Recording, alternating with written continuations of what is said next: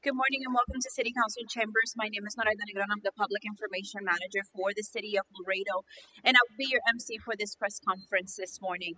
Before we start, I want to present uh, those important officials that are with us this morning. First and foremost, our Mayor of the City of Laredo, the Honorable Dr. Victor D. Trevino. Also with us, representing Presidenta Municipal de Nuevo Laredo, is the Chief of National Affairs, Mr. Arturo Ortega. Representing the Nuevo León government, we also have Deborah Karen. Representing the Webb County Sheriff, the Honorable Martin Cuellar, we have Assistant Chief Julio Gonzalez and Chief Alejandro Gutierrez representing, uh, not representing, he is the Mexican Consulate General in Laredo, Ambassador Juan Carlos Mendoza. Our city manager, Mr. Joseph Neeb. And our police department chief, Chief Miguel Rodriguez.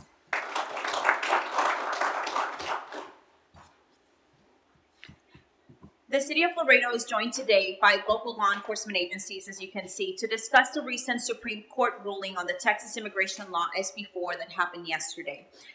Um, but late last night, the Fifth Court of Appeals blocked SB4 once again. So, meanwhile, the City of Laredo mayor and law enforcement agencies wanted to discuss what would happen if this law, of course, takes effect. So, please help me welcome Mayor of the City of Laredo, Dr. Victor Trevino.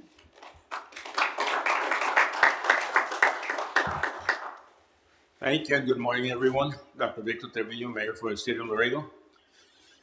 I would like to start off by saying that I'm, I'm proud to live here in Laredo and be the mayor of this great Texas border community. And as Laredoans, only we know what it truly means to live and work at the border. I wanted to give an update on the Texas State Senate Bill 4 and the city's position when it comes to our community. Once again, the law is currently blocked as of last night by the Fifth Circuit Court, and whether the law is constitutional or not, Laredo will continue to follow its formula and having a strong collaboration with state, federal, and binational law enforcement, which have maintained Laredo one of the safest cities in the country. This stability has also maintained Laredo as the number one port of entry in the country, and all of this without the need of a border wall.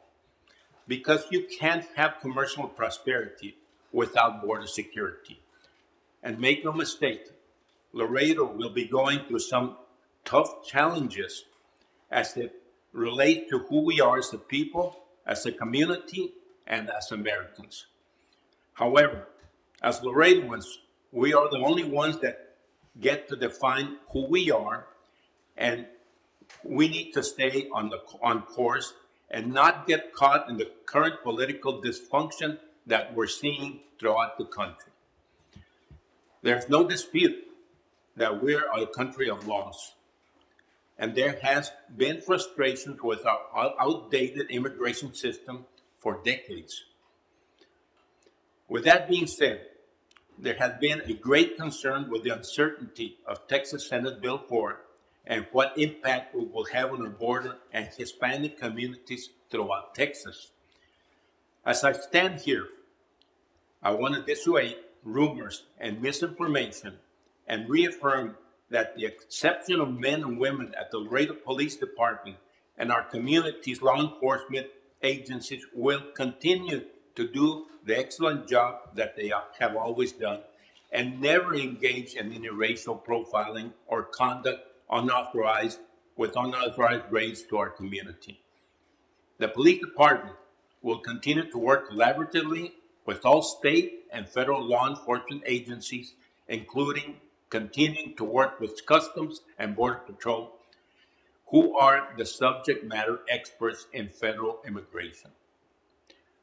This is the Laredo formula. And this is the reason why Laredo continues to be one of the safest cities in the country.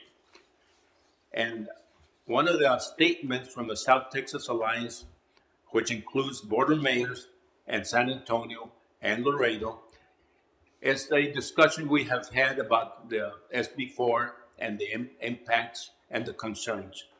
And we all agree on a mutual statement that addresses this.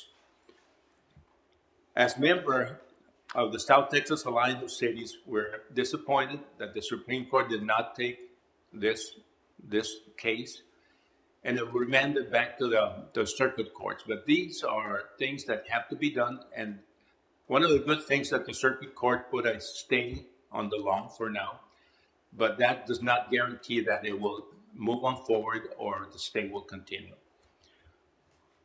So instead of uh, creating further confusion and chaos, the law will add the necessary burdens that we know from local police departments. And every day that the law is in effect, this takes away from the police department and local law enforcement agencies to do their work. Our region faces many complex issues and require real solutions. So SB 4 distracts from efforts to work on bipartisan solutions, such as bipartisan border bill, which will provide communities with resources to address challenges in a compassionate, legal, and humane manner. At this point, I will pass the speak, the mic to another speaker, but thank you very much for listening. Thank you.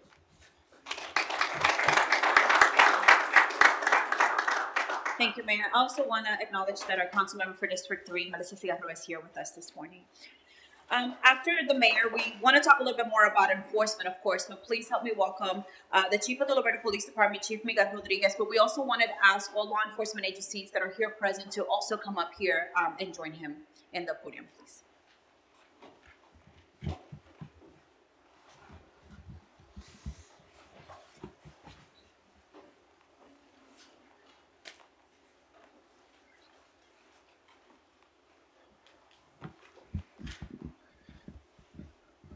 Good morning. Um,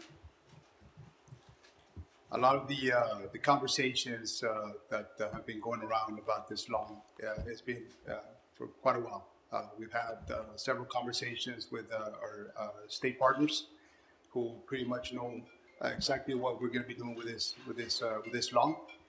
And I can tell you that it's it's always been good conversations because a lot of the fear that's out in the community shouldn't be out there especially here in Laredo, because I can tell you that this law is not about us going out there and doing roundups. This law is not about us going out there and asking for papers and immigration status. This is not about that. This law is, is very clear that whenever we can apply it is through a lawful detention or an arrest. And, and let me be very clear that this is the reason why We've, uh, we've already talked to our, our local partners and making sure that we standardize our training, that we're not doing things differently, that we make sure that when we're training our officers is the same training that our deputy uh, sheriffs are getting trained at, that our constables are getting trained at. So very important that we train and train and train because we want to avoid the racial profiling part of this law, that it, it, it, it lends itself for that. But again, racial profiling is it's, it's a law that is not only a violation in Texas, it's a, it's a violation in the entire United States. We cannot we cannot do that. It is very important that we don't do that. So very important that we continue to focus on training, and we already have the curriculum at PD. We've already shared that curriculum with the sheriff's department, and we are already ready to train our officers on this uh, new law. Um, with that being said, you know, uh, last night I got a call uh, from a friend and ask, hey, my mom is here on a traveling visa, is not here on a working visa. Am I going to get stopped? Again, I don't even know the difference, right? Uh, we're not immigration officers. We need to understand that. And our officers need to understand that, that we need that training because there's a lot of things that happen through an immigration status that we as officers have never dealt with. And again, it is, for us, it is very easy to apply this law because we already have the mechanism in place. And I'll give you an example somebody gets stopped for DWI, person does not is not here illegally, what happens? We arrest them, we take them to jail. The sheriff's department finds out that the person is not from here. What do they do? They call customs. They call border patrol. They put a detainer. The person gets deported. The person does something here, which is an felony status, either gets arrested. If he's not here legally, what happens? They, the court decides he's going to stay here to, to face prosecution, or he's going to be deported. The mechanism here in Laredo is already in place. So eh, are things going to change? No. The only difference is now it gives us the authority to make sure that if you're here illegally, it gives us the authority to add that, that charge to you if we need to, to, to add it. We had conversations with our, with our district attorney. Our district attorney made it very clear for us that it is an enhanced charge to, to what we're, we're dealing with. It has to be a, a, a state charge that already is in existence. Now we're gonna be able to add it with the SB four charge. So unless you're crossing the river and we see that as a crime in progress, then we can apply it right away. That's basically how it is. Um, so uh, the other thing that we, we want to touch base on uh, is on the victims of crimes.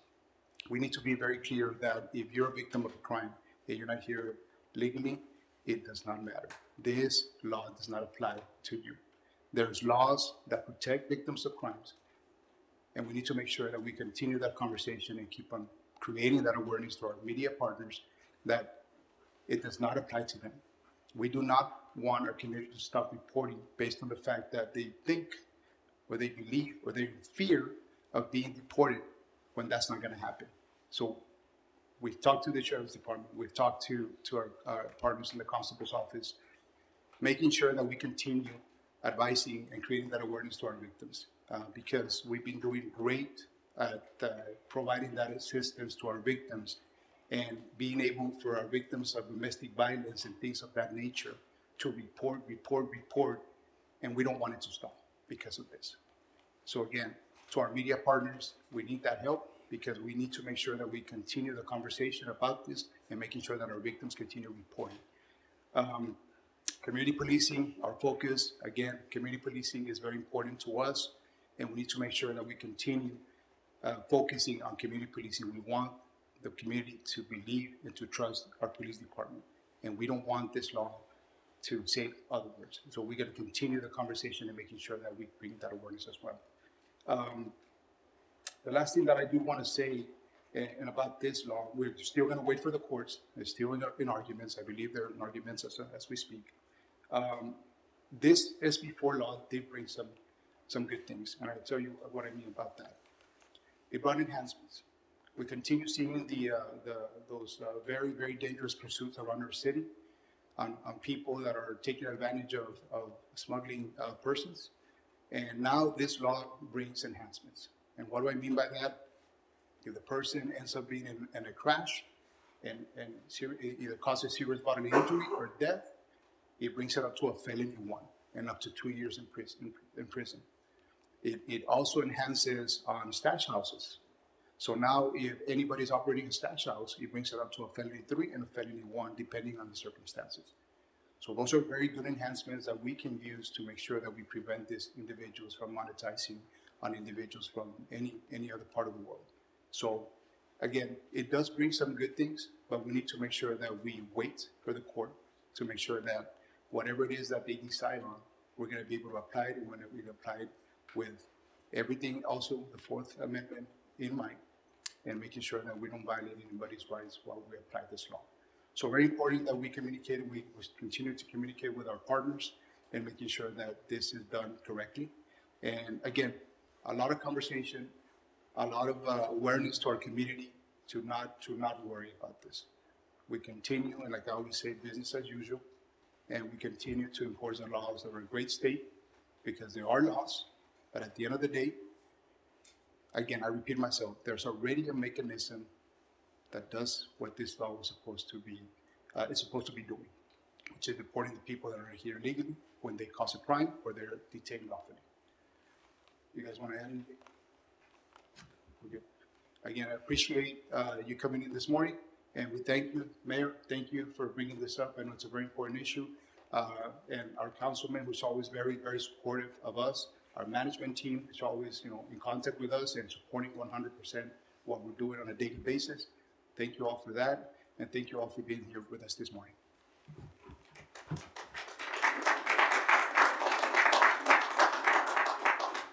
Thank you all. This press conference has ended, and mayor and other law enforcement agencies that are in this room are available for our media um, if they would like any other additional interviews. Thank you so much.